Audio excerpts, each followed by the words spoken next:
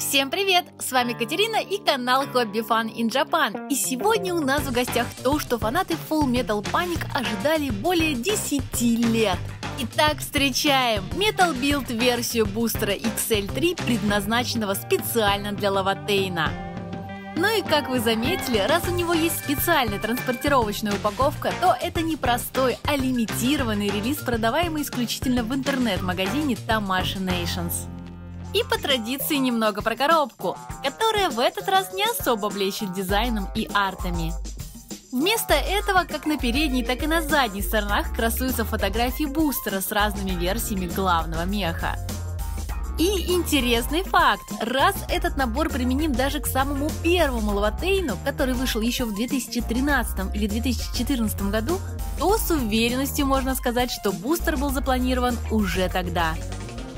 Но вернемся к коробке. Быстренько чекнем лицензионный стикер и стикер качества Тамаши Nations. Тамаши, кстати, в очередной раз изменили свою наклейку, и она вместо большого голографического круга стала маленьким кружочком. Что ж, пришло время открывать коробку. И внутри, как вы видите, мы имеем всего два блистера. В одном из них находится сам бустер и основные аксессуары к нему, такие как мини-подставки, хвостовое оперение, топливные баки и тому подобное. Во втором же мы видим лишь огромное количество ракет и подставку с кучей адаптеров для крепления. Ах да, в обоих блистерах также раскидано и разного рода вооружение, так, например, нам дали еще один дробовик, который уже есть в наборе самого робота, пару винтовок и два огромных пулемета, которые крепятся на тазовой броневой пластине. В общем, наборчик очень насыщенный, так сказать, все, что нужно фанату. Вот жалко только, что перед использованием придется очень основательно заняться сборкой. После того, как все детали соединены воедино, XL3 будет выглядеть как огромные крылья от транспортного самолета, но с навешенными ракетами. Что, в общем-то, и неудивительно, ведь именно транспортную функцию он и выполняет. В аниме его еще пока не было, но в манге и новеллах Сагара, пилот Лаватейна, особо в воздухе и не маневрировал.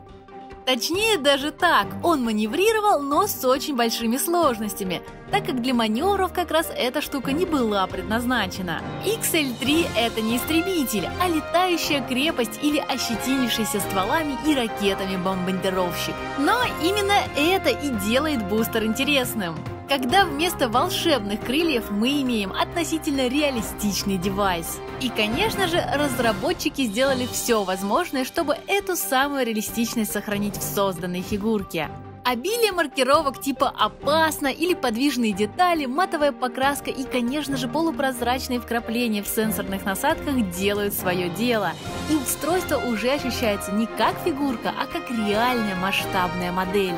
Но самое интересное в ней это двигатели, точнее даже не двигатели, а турбины. Во-первых, они просто нереально круто покрашены, с таким градиентом, будто они реально постоянно находились под действием высоких температур. Во-вторых, внутри сопел также есть очень качественно выполненные лопасти. А в-третьих, они снимаются. Да-да, крышки крепления двигателя открываются, а слоты турбин выдвигаются. И извлеченные турбины можно установить на специальном трейлере так, будто они проходят техобслуживание. Однако мы же все понимаем, что любой аксессуар не имеет смысла, если нет того, для чего он действительно предназначен. И в данном случае это, конечно же, Лаватейн.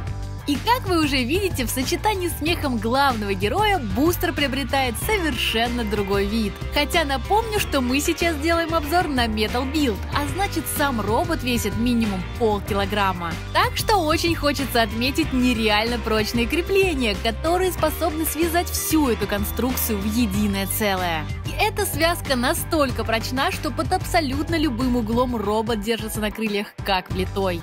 Ну и раз мы заговорили про наклон, то отмечу и подставку. Если же вы посмотрите обзор на самого Лаватейна, то заметите, что я ругала подставку за невозможность установки меха в прыжке. Так вот, теперь эта проблема решена. И решена она путем добавления новой подставки, у которой есть полноценная распорка для крепления. Понаклоняв эту конструкцию под разными углами, начинает хотеться добавить реализма и покрутить закрылки. И очень приятно, что создатели предусмотрели и такое фанатское желание. Так что тут есть что покрутить и повертеть. Более того, с каждой стороны есть по три независимых элемента, что делает бустер похожим на два реально склеенных крыла какого-нибудь Боинга. И что немаловажно, шарниры в этих местах металлические, так что прослужить должны долго.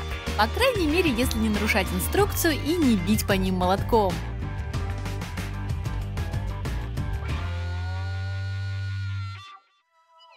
Но кроме реалистичности, XL3 имеет еще один немаловажный плюс. На него можно повесить абсолютно все оружие, как из собственного комплекта, так и из комплекта Лаватейна одновременно. Ракеты, которые, кстати, разделяются по одной, и так все повешены на крыльях, но к ним по соседству можно довесить и Demolition Gun.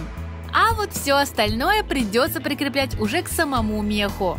Пулеметы, или лучше назвать их скорострельными автопушками, ведь калибр там явно не маленький, присоединяются на броневой лист, закрывающий пятую точку робота. Винтовки или дробовики даются в руки, и казалось бы на этом все.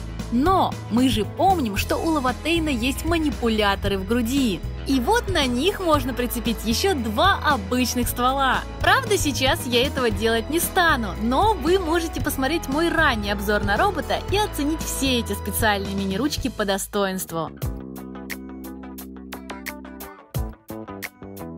Но пора бы спуститься с небес на землю и установить бустер в режим дока.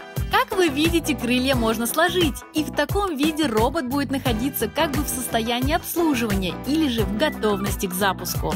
Правда, тут есть одно небольшое «но». Сам по себе наш товарищ с прикрепленными крыльями стоять не может. Но это и не удивительно, ведь крылья весят не меньше самого меха.